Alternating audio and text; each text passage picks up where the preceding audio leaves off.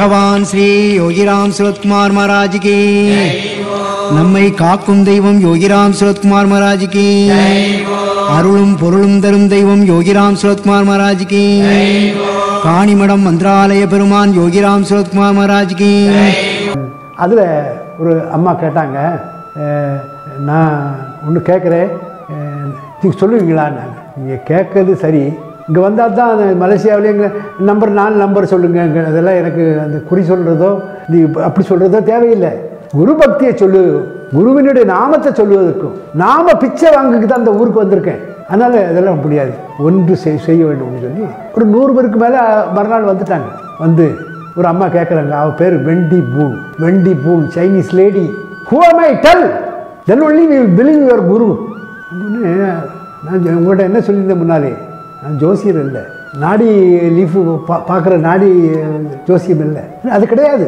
அண்ணே ஆடித்தரமாக சொன்னேன். சொன்னாலும் சொல்கிறா உங்கள் குருவை நம்பி உங்கள் குரு அந்த அற்புதத்தை பண்ணிட்டாருன்னா நாங்கள் எல்லோரும் நம்பிடுவோம். இங்கே இருக்கக்கூடிய சைனீஸ் என்ன செவன்ட்டி ஃபைவ் பர்சன்ட் சைனீஸ் தான் இங்கே சிங்கப்பூரில் இருக்காங்க. அப்போ அவ அவங்க எல்லாரும் உங்களுக்கு கா யோகிராம் சுகுமாருடைய பக்தர்களாக ஆவா. உடனே எனக்கு ஒரு நப்பா. உடனே எனக்கு உள்ளத்தில் போகுது. பாவனே இதை சொல்லியிருங்களா அப்படின்னு ஹூவாமைன்னு கேட்குறான்னு சொல்லி நான் உடனே இருந்தேன் உடனே எழும்பி கொஞ்சம் பாத்ரூம் வரை போயிட்டு வரேன். கொஞ்சம் வெயிட் பண்ணுங்கன்னு சொல்லிட்டு உள்ளே போனேன் அழுதேன். பாத்ரூம் கதறே அழுதேன். அழுதது மட்டும் இல்லை பெருமானே வருவாய் வருவாய் குருநாதா. வந்தருள் புரிவாய் குருநாதா. மாதா பிதா. நீ குருநாதா மன கவலை தீர்ப்பவன் நீதானே. வருவாய் வருவாய் குருநாதா வந்தருள் புரிவாய் குருநாதா. அதை பாடும்போது நண்பர்களே சொல்லும்போதே உடம்பு பதறுது சுவாமி.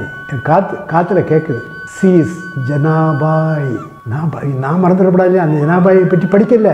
உடனே இது North Indian lady. North Indian lady Janabai பகவான் தெளிவாக சொல்ற உடனே பாக்கெட்டில் இருந்த டைரி எடுத்து அதில் குடிச்சுக்கிட்டேன் உடனே வெளியே போனேன் Wendy Boon you are Janabai is it true is it true true my guru but one condition here after nobody Singapore as such questions who am I who am I no I won't this first and last I told like that உடனே சரி நாங்கள் எதுவுமே யாரும் கேட்க மாட்டோம். இதான் முதல் கடை அவன் ஒரு டைமண்ட் வியாபாரி. எந்த நாட்டுக்கும் எப்போ போகலாம் பிஸ்னஸ் விசா பிஸ்னஸ் விசா வச்சு என்ன செய்ய? நேரே சென்னை வந்தால் சென்னையிலேருந்து தஞ்சாவூர் போனால் வைத்தீஸ்வரர் கோயிலுக்கு போய் நாடு ஜோசி முன்னாலேயும் பார்த்துருக்கா. அப்போ என்னுடைய முந்தின பறவையை பற்றி பார்த்து பார்த்துருக்கேன் அதில்? வடநாட்டில் பாண்டுரங்கனுடைய பக்தை ஜனாபாய். அந்த வரி அந்த வரலாறு சொல்லியிருக்காங்க ஜனாபாயுடைய வரலாறு வந்திருக்கு. அவங்க தான் உடனே நெட்டில் அடிச்சிருவாங்களே இந்த அம்மாவுடைய பக்தியும் எப்படி வந்தாங்களோ அவங்க வீட்டில் என்ன எப்படிலாம் கஷ்டப்பட்டு எப்படிலாம் வந்தாங்களோ ஜனாபாயும் ஒரு வேலைக்காரியாகவே வீட்டில் அமைந்தார். பெரிய பாண்டரங்களுடைய பக்தி. அவ பாண்டுரங்கன் கோயில் பக்கத்தில் இருக்கு ஜனாபாயுடைய. நாமதேவர் வீட்டில் தான் அவள் வேலை பார்க்குறான் நாமதேவர் எப்பவும் போயிட்டு வருவார். ஆனால் இவளுக்கு போகணுன்னு ஆதங்கம்.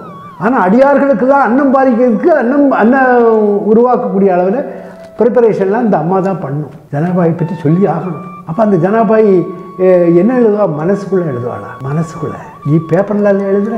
உள்ளே போ அதான் சாம் பகவான் சொல்லுவார் கோ இன்சைடு வாயில் மட்டும் யோகிராம் சொல்லுமா யோகிராம் சொல்லு உள்ள கோ இன்சைடு அடுத்த ஸ்டேஜ் என்ன? உள்ளே கொண்டு போ பகவான் நீ நினைக்கிறதெல்லாம் அவருடைய நாம மூச்சு வைப்போம்.